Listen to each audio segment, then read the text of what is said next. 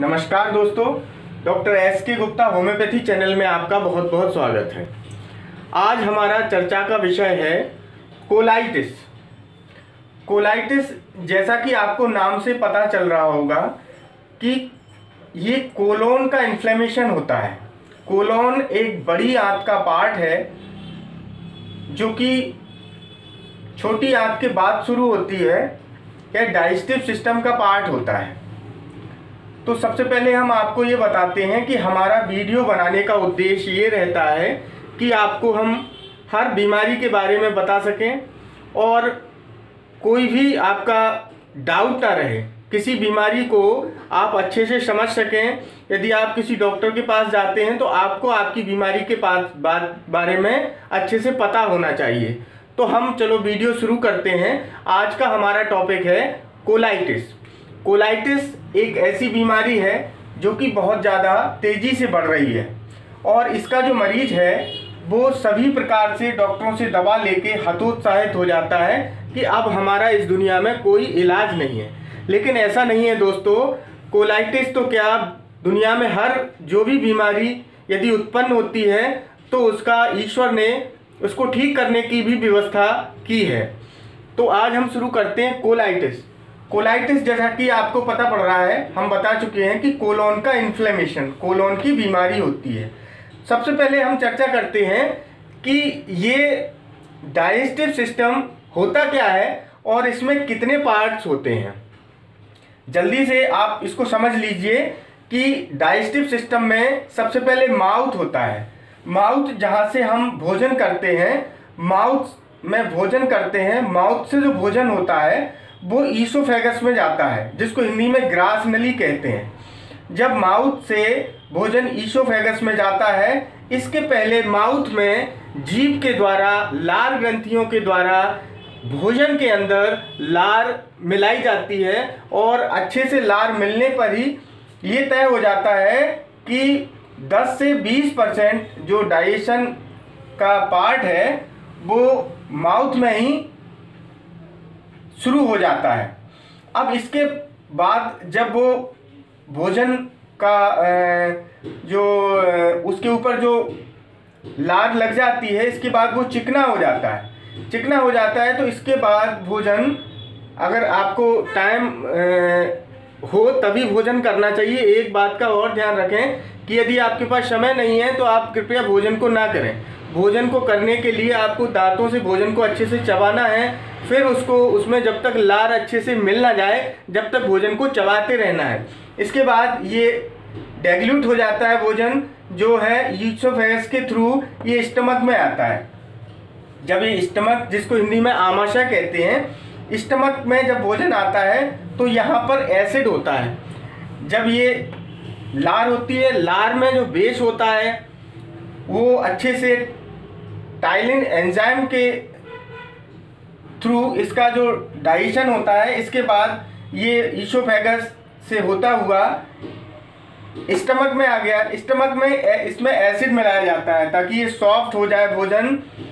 सबसे पहले बेस मिलाया गया, फिर एसिड मिलाया जाता है। आगे पाचन क्रिया होने के लिए ये छोटी आंत में जाता है। फ़ूड, सबसे पहले ड्यूडनम जैजुनम, इलियम।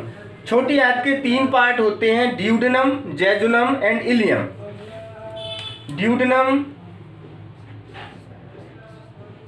second है जैजुनम थर्ड है इलियम।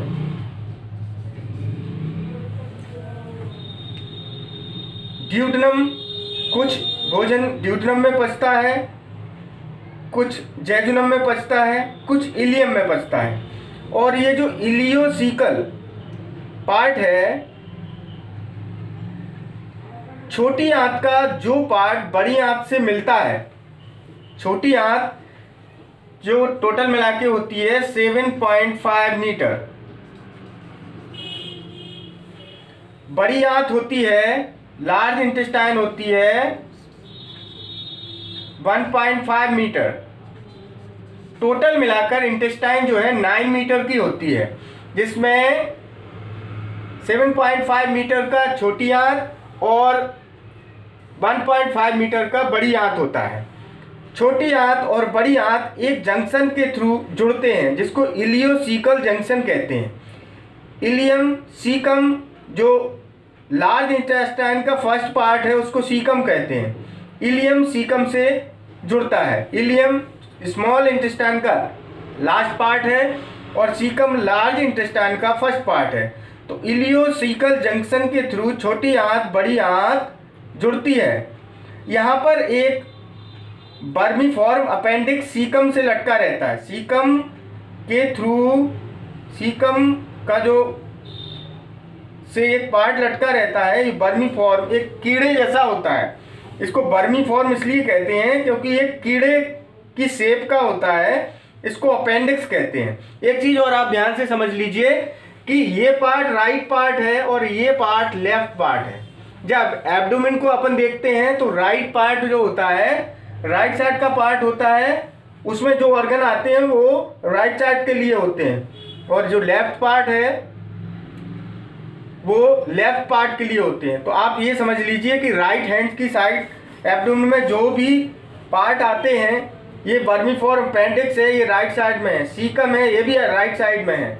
लीवर है, ये भी राइट साइड में है।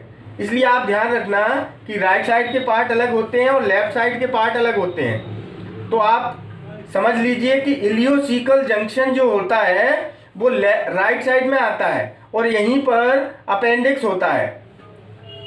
अब यहाँ से सीकम के बाद जो पार्ट लार्ज इंटेस्टाइन का शुरू होता है, उसको कहते हैं कोलॉन जो ब्लैक कलर में बनाया हुआ है, ये पूरा लार्ज इंटेस्टाइन है और जो ब्लू कलर में बनी है, ये स्मॉल इंटेस्टाइन है। ये इलियोसिकल जंक्शन है। यहाँ से सीकम और सीकम के बाद कोलॉन शुरू हो जाती है।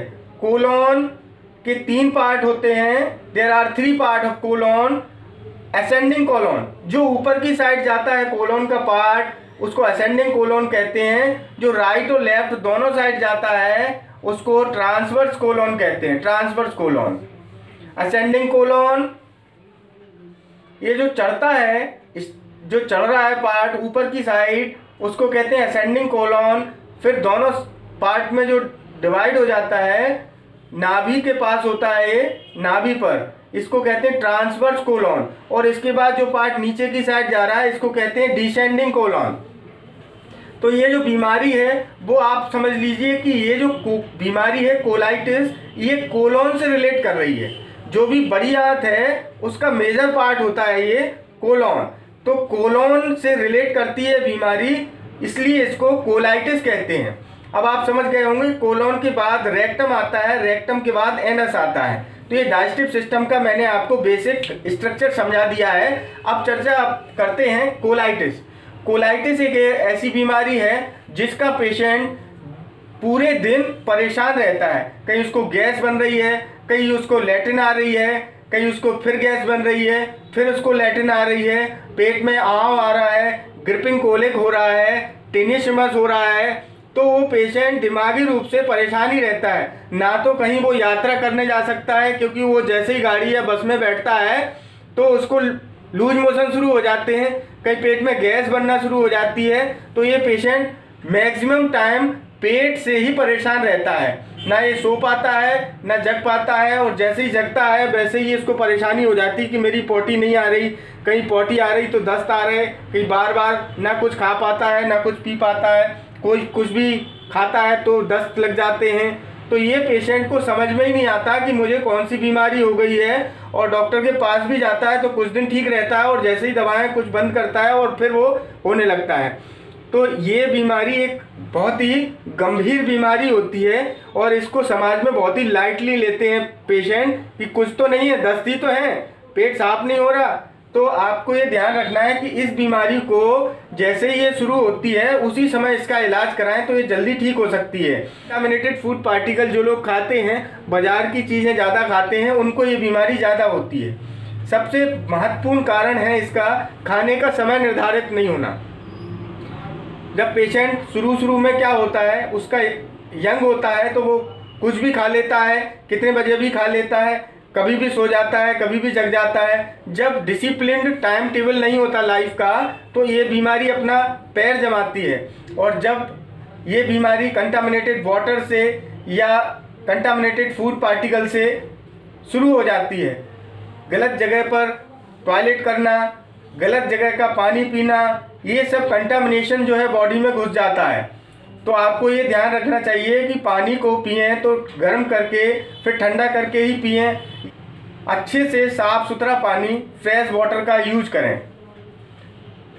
आप ये ध्यान रखें कि वाटर से सबसे ज़्यादा कंटामिनेशन होता है और इसके बाद फिर खाने से होता है। अनियमित दिनचर्या लाइफ स्टाइल का खराब होना, इसके लिए बहुत उत्तरदायी है। तो ध्यान रखा जाए कि ये बीमारी ना हो, इसलिए साफ़ सुथरी जगह पर बैठें, साफ़ सुथरा खाना खाएँ।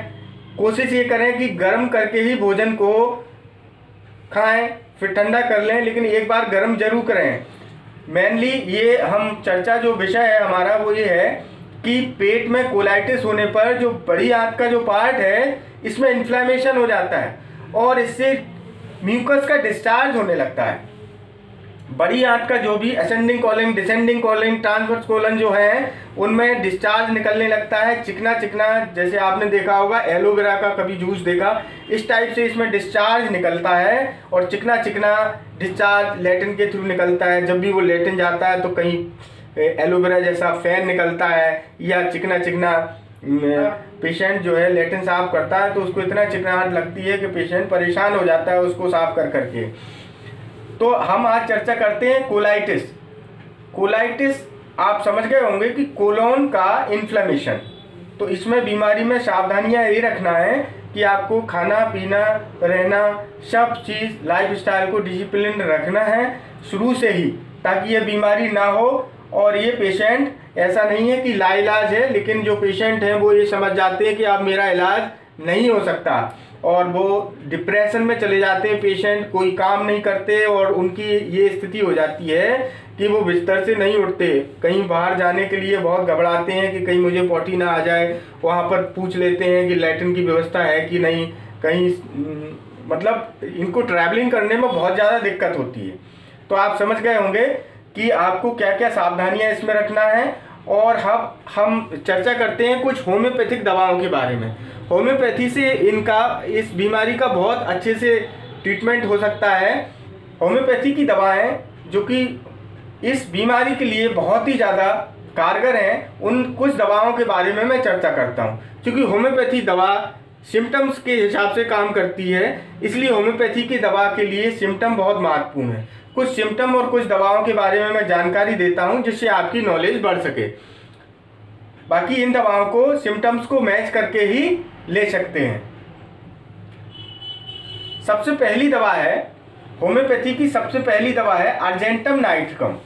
अर्जेंटम नाइट्रिकम एक ऐसी दवा है, इसके जो लक्षण है, सबसे महत्वपूर्ण लक्षण है कि इस मरीज़ को स्वीट बहुत पसंद होता है और स्वीट से ही इसकी बीमारी बढ़ती है।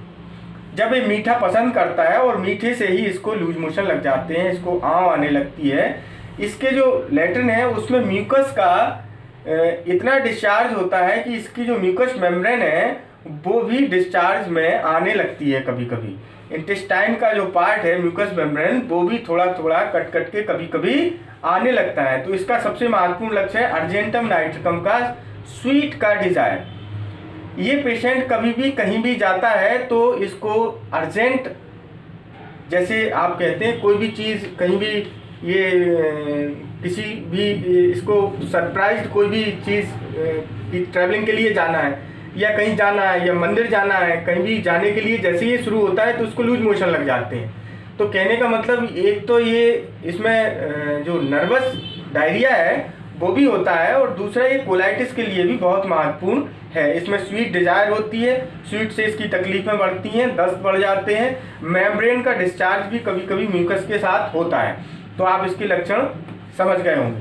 दूसरी मेडिसिन है Merc sol never get gone feeling टिनेशमर इसमें पेशेंट को इतना ग्रिपिंग होता है, इतना मरोड़ होती है पेट में मर्कसॉल में। इसकी दूसरी मेडिसिन है मर्ककॉल तो सबसे पहले मर्कसॉल की चर्चा करते हैं। मर्कसॉल में इतना म्यूकस आता है कि पेशेंट जैसी लेटरिन जाता है, फिर थोड़ी देर बाद उसको फिर लेटरिन होती है। उसके दिमाग में, उसके पेट में मरोड़ बनी ही रहती है। यहाँ की वो लेटन करके आता है, फिर भी उसके पेट का मरोड़ कम नहीं होता। म्यूकस डिस्चार्ज बहुत ज़्यादा होता है, ये लूज मोशन में भी देते हैं और म्यूकस बहुत आता है, तब भी ये दवा देते हैं। Never get gone feeling of tenesmus इसके पेट में जो पेट का दर्द है, मरोड़ है, वो कंटिन्यूस रहती है। यदि म्यूकस के साथ केवल म्यूकस आता है तो मर्कसोल देते हैं और मर्कसोल म्यूकस की कंडीशन में देते हैं। यदि म्यूकस के साथ में बहुत ज़्यादा ब्लड आता है, जैसे ही ब्लड शुरू होता है तो मर्क सॉल की जगह मर्क कॉर देना चाहिए। तो आप समझ गए होंगे ओनली म्यूकस के लिए मर्क सॉल और मर्क कॉर उस समय देते हैं जब म्यूकस के साथ ब्लड भी आता है। ठीक है थर्ड मेडिसिन है कॉलचिकम कॉलचिकम का एक सबसे बहुत ही सुंदर लक्षण है कि किचन किचन की गंध से इसको बहुत एग्रवेशन होता है। इसको उल्टी का मन तुरंत होने लगता है, इसलिए इसको किचन से दूर रखते हैं इस मरीज़ को। इसकी भी लेटिन में आव आती है, बहुत ज़्यादा आव आती है, जैसे लेटिन जाता है, इसको मरोड़ होती है, पेट दर्द होता है, लेकिन दर्द पेट में, ग्रिपिंग, म्यूकस, बहुत सी मेडिसिन में होता है, लेकिन किचन का वर्ड जहाँ आता है कि किचन की गंध मसालों की गंध इसको बिल्कुल सहन नहीं होती, उल्टी का मन होने लगता है और इसकी तबीयत बहुत ज़्यादा खराब हो जाती है। तो कॉल्चिकम एक मेडिसिन है जिसको किचन की गंध से बहुत एलर्जी होती है, इसका एक महत्वपूर्ण सिम्टम है। इसके साथ दस्त, मरोड़, कोलाइटिस सब हो सकता है, लेकिन किचन की गंध से इसको एग्रीवेशन होना चाहिए। अब चौथी मेडिसिन है डायस्कोरिया डायस्कोरिया का अपोजिट है कोलोसिंथ तो डायस्कोरिया एक ऐसी मेडिसिन है जिसमें पेशेंट को मूवमेंट से रिलीफ होता है। डायस्केरिया मेडिसिन में डायस्कोरिया बिल्लोसा इसका नाम है पूरा, इसको मूवमेंट से रिलीफ होता है, जबकि कोलोसिंथ को मूवमेंट से उसका रोग बढ़ जाता है। तो कोलोसिंथ का पेशेंट कुर्सी पर झुक के बैठ जाता है, जबकि डायस्कोरिया का पेशेंट ऐसे बैठता है। आप समझ गए होंगे कि कोलोसिंथ का पेशेंट ऐसे बैठता है, पेट को दबाता है और उसको रिलीफ होता है, पेट को नहीं छोड़ता है और डायस्कोरिया का पेशेंट इसको मूवमेंट से रिलीफ होता है, घूमता, चलता, फिरता है तो उसको रिलीफ होता है। तो इस तरह का यदि लक्षण मिले और उसको कोलाइटिस की प्रॉब्लम हो, उसको म्यूकस आ रहा हो, आम आ रहा हो, पेट में दर्द हो रहा हो तो ये दवा कोलोसिंथ और डायस्कोरिया दे सकते हैं। लेकिन इसका जो अपोजिट है वो क्या है? डायस्कोरिया में मूवमेंट से रिलीफ होता है, जबकि कोलोसिंथ में मूवमेंट से रिलीफ नहीं होता। वो पेट को पकड़े, आगे झुका हुआ, बैठा रहता है। कोलोसिंथ में मेन जो लक्षण है, वो और बता दूँ कि कोलोसिंथ में पेट में कहीं भी हाथ में गैस फंस जाती है।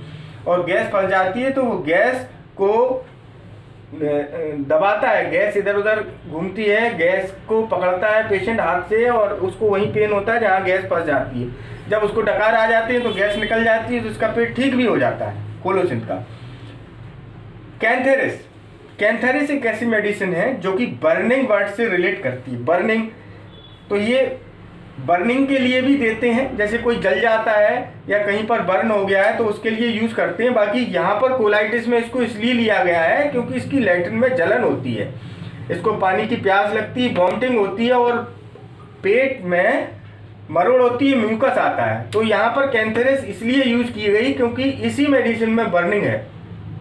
बर्निंग की और भी मेडिसिन है, लेकिन म्यूकस के साथ में बर्निंग कैंथेरिस की जो मेडिसिन है, वो बेस्ट मेडिसिन है।